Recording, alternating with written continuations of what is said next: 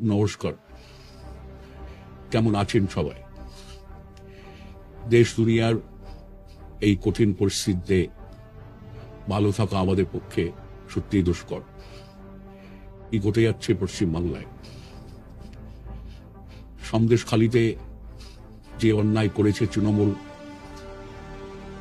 তার কোনো ক্ষমা নেই। রাজ্যে কর্মসংস্থান নেই, মহিলাদের সম্মান নেই দুর্নীতির আখড়া হয়ে যাচ্ছে রাজ্যটা। আমার রাজ্যটাকে সুন্দর করে সাজিয়ে তুলছিলাম।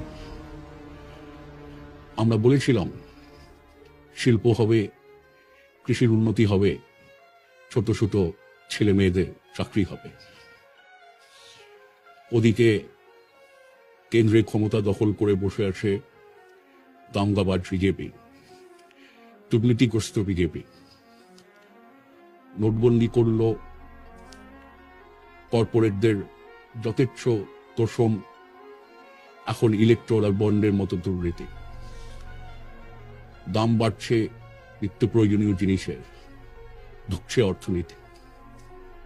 প্রতিদিন সাম্প্রদায়িক ঘৃণা ছড়াচ্ছে বিজেপি। আরও শেষ। মনে রাখবেন, তৃণমূলের আমলেই কিন্তু বাংলায় বিজেপির বারবার অন্ত।